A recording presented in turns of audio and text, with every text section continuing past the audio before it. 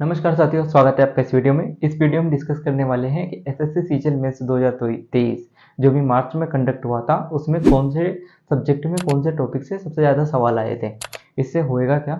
इसमें जो अब अभी S S C CGL mains 2023 जो होने वाली है, इससे आपको आइडिया मिलेगा कि इस टॉपिक से इतने सवाल आते हैं। तो जो आपका वीक पोर्शन है, उसे आप पहले कर लो। और वीक पोर्शन से भी सबसे ज़्यादा ज़रूरी ये है कि सबसे ज़्यादा सवाल कहाँ से आ रहे हैं? तो सबसे ज़्यादा जो सवाल आ रहे हैं उससे आप बेहतर कर लो। ठीक है? तो चलिए शुरू करते हैं। तो सबसे पहला है हमारा मैथ्स तो मैथ्स में जो टॉपिक पहला है हमारा, वो है परसेंटेज तो परसेंटेज में टोटल सवाल पूछे थे छः और टोटल शिफ्ट कितनी हुई थी? चार। मतलब एवरेज कितना निकल के हमारे पास में? वन पॉइंट फाइव इसका मतलब क्या है कि किसी किसी शिफ्ट में एक एक सवाल था। शिफ्ट एक एक सवाल तो हर शिफ्ट में था, लेकिन किसी किसी में क्या था? दो सवाल भी पूछा था। अगला टॉपिक है ratio and proportion ratio and proportion से तीन क्वेश्चन आए थे। मतलब एवरेज पॉइंट सेवन फाइव का। इसका मतलब क्या हुआ कि एक, तीन शिफ्ट में एक एक सवाल आया था और किसी में एक भी नहीं आया था। एक शिफ्ट में एक भी सवाल नहीं था। अगला है मिक्सचर एलिगेशन मिक्सचर एलिगेशन से चार सवाल थे एवरेज एक का। उसके बाद है एवरेज एवरेज से पाँच सवाल थे हमारा प्रॉफिट एंड लॉस से नौ सवाल। मतलब दो दो सवाल तो हर शिफ्ट में आएँगे ही आएँगे। मतलब अर्थमेटिक का सबसे इंपॉर्टेंट चैप्टर ही प्रॉफिट एंड लॉस है। जैसे प्री में भी दो सवाल फिक्स है मेंस में दो सवाल तो आते ही हैं और किसी शिफ्ट में तीन तीन सवाल भी आए थे। ठीक है? अगला टॉपिक टाइम एंड वर्क है। टाइम एंड वर्क से पाँच सवाल आए थे। सिंपल इंटरेस्ट और कंपाउंड इंटरेस्ट दोनों के मिला के आठ सवाल थे। सिंप्लीफिकेशन से छः सवाल थे। नंबर सिस्टम एलसीएम एचसीएफ के नौ सवाल थे। एलजेब्रा के छः टिग्नोमेट्री के ग्यारह सवाल थे। ज्योमेट्री के बारह सवाल थे। मेंशुरेशन के तेरह। इस बार मेंशुरेशन का वेटेज थोड़ा बढ़ गया था। ज्योमेट्री से भी ज़्यादा सवाल आए थे उसके। तेरह सवाल आए थे टोटल कोऑर्डिनेट ज्योमेट्री लगभग हर शिफ्ट में पूछा था। किसी किसी शिफ्ट में नहीं पूछा।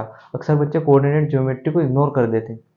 लेकिन उससे बहुत ही सरल सवाल आया था, लेकिन अगर आपको उसका बेसिक कंसेप्ट नहीं पता तो सरल सवाल सरल हो चाहे कठिन हो, आपसे बनेगा ही नहीं। इसलिए कोऑर्डिनेट ज्योमेट्री को भी एक आध बार एक रेटिंग मार के चले जाओ।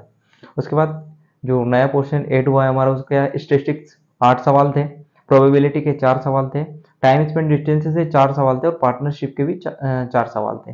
ठीक है? अगला जो पोर्शन है हमारा, वो है जीएस का। जीएस में इस बार एस्थेटिक जीके से मेंस में कोई सवाल नहीं था। डायरेक्ट उन्होंने पूछा था biology, chemistry, physics, economics, geography, history, polity और करंट अफेयर्स। तो सबसे जो इम्पोर्टेंट, हमेशा कहते हैं, प्री में भी ज्योग्राफी, हिस्ट्री और पॉलिटी तीनों बहुत ही इंपॉर्टेंट है, सबसे ज़्यादा सवाल पूछे जाते हैं। उसके बाद साइंस भी इस बार बहुत ही इंपॉर्टेंट चीज़ हो गई। पहले भी था, लेकिन प्री में इतने सवाल, चार पाँच सवाल बनते थे। इनसे तो हर बार दो दो, तीन तीन सवाल फिजिक्स के, सॉरी, हिस्ट्री, पॉलिटी और ज्योग्राफी से सवाल बनते हैं। करंट अफेयर्स के हमारे पास में सोलह सवाल थे मतलब हर शिफ्ट में चार चार सवाल आए थे। मतलब अगर आप करंट अफेयर्स नहीं भी पढ़ के जाते, केवल एक पोर्शन पढ़ पढ़ के चले जाते तो भी आपके पास में इक्कीस सवाल थे, जो कि आपके बनने लायक थे। करंट अफेयर्स का क्योंकि भरोसा नहीं होता, कहाँ से क्या पूछ रहा है। ठीक है? अगला जो पोर्शन है हमारा, वो है इंग्लिश तो इंग्लिश का जैसा कि आप देख पा रहे हैं वर्ड से आठ सवाल थे। स्पेलिंग एरर से भी आठ सवाल थे सिनोनेम से चार एंटोनेम से भी चार ईडीएम से आठ सवाल थे। सॉरी एंटोनिम्स से आठ सवाल थे एरर करेक्शन से आठ सवाल थे एरर डिटेक्शन से चार सवाल थे। फिल इन द बैंक्स से बीस सवाल क्लोज टेस्ट से सोलह सवाल एक्टिव पेसिव से बारह नरेशन से बारह जम्बल्ड सेंटेंस से चौबीस सवाल और आरसी से फोर्टी एट इस बार जो है कॉम्प्रिहेंशन पे इंग्लिश में सबसे ज़्यादा ध्यान दिया गया है। ग्रामर का इतना रोल रहा नहीं। ग्रामर का भी रोल रहा, लेकिन इतना नहीं रहा जितना उन्होंने कॉम्प्रिहेंशन पे ध्यान दिया था। ठीक है? तो हमारा इंग्लिश का वेटेज हो गया। उसके बाद देखते हैं हम रीजनिंग का। तो रीजनिंग का जैसा कि आप देख पा रहे हो कि ब्लड रिलेशन से आठ सवाल थे कोडिंग डिकोडिंग से ग्यारह लेटर सीरीज़ से चार नंबर सीरीज़ से भी चार वेन डायग्राम से पाँच सवाल थे इनक्वलिटीज से नौ सवाल थे मैथमेटिकल ऑपरेशन से आठ ओड वन आउट से हमारे चार सवाल थे। उसके बाद जैसे वर्ड के ऊपर होता है ओड ओड वन आउट वैसे ही नंबर के ऊपर भी होता है ओड वन आउट तो उससे चार सवाल थे हमारा। सॉरी हाँ एक पे चार थे, एक पे पाँच थे। उसके बाद ऑर्डिनरी रैंकिंग से पंद्रह सवाल थे हमारा सिलोक्स से पाँच सवाल स्टेटमेंट एजम्पन से 11 सवाल और कंप्लीशन ऑफ़ फिगर से कितने सवाल थे? चार। ठीक है? तो हमारा रीजनिंग का हो गया, कुछ नया नहीं पूछता, वही सिलेबस है जो प्री का है।